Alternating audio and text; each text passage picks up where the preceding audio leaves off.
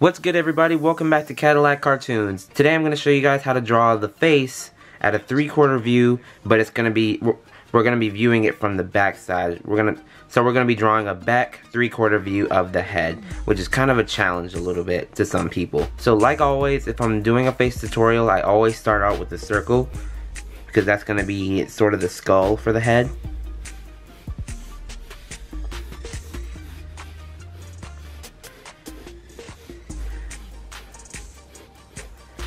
And lots of people are used to drawing like perspective lines for when you're actually viewing the eyes, nose, and mouth, the rest of the face. So we are still drawing at a three quarter view, so we're gonna add a perspective line here, going the opposite direction from where the face is facing. So it's actually facing this way, but we're looking at it, but we're gonna look at it from a back view of it.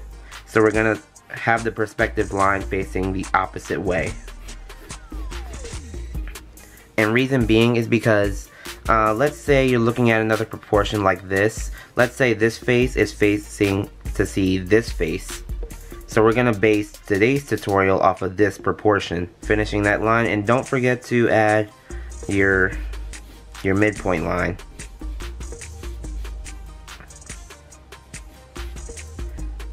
And then you can continue drawing the face shape, just come off of this line. And you want to make this a little bit not curved, but a little bit more straight.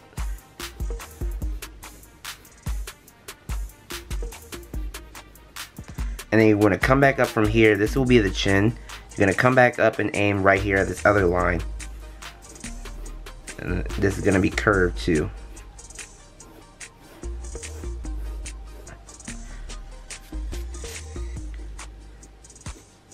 And then while we're drawing this head, the chin is also going to show. So when we're going to draw the neck, we're going to base it a little bit off of here, not on the chin, but like right around here. So that's where part of it is going to start. The neck can also come off of here and make a straight line, almost. But you can also start the neck from right here if you want to. It's up to preference.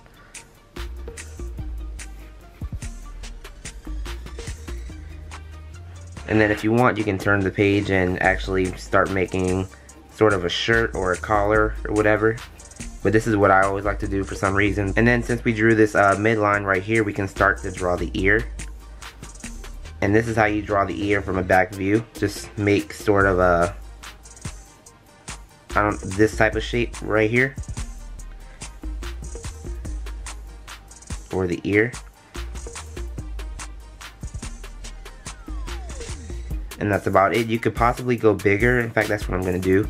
Make this ear a little bit bigger.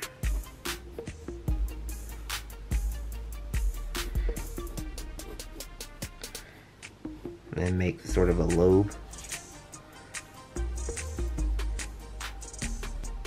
Okay, and it's not necessary to draw the ear on the other side because this half of the face we're not going to see much of as you can see because uh, of this perspective line here. We're going to see more of this side than the other. So it won't be necessary to draw the ear on this side, but you can just draw like a little shape over on this side. It doesn't really matter. So after we drew the ear, we don't have to include the nose, the mouth over here on this side. What we can do is we can start to draw the hair. Now, if you guys already know how to draw hair, then that's up to you. I'm just gonna choose one hairstyle for the sake of the video. And I'm gonna start off right here because this is like the midpoint between this line and then this first perspective line that we drew earlier.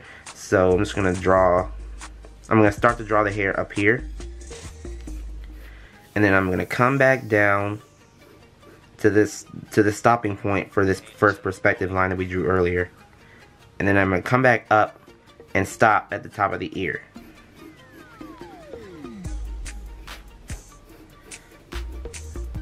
And then I'm going to come back around towards the front of the face and add little strands of hair. And then I'm going to come off the top of the ear and make sort of an opening there.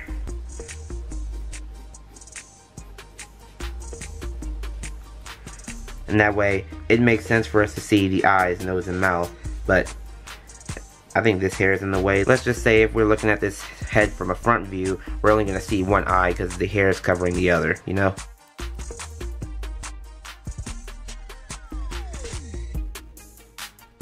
So this is how you draw the face at a back three-quarter view. Let me know what you guys thought of the video. If you guys did like the video, give it a like and a comment. Subscribe if you haven't. And tap the notification bell so you never miss an upload. And I'll see you guys in my next video.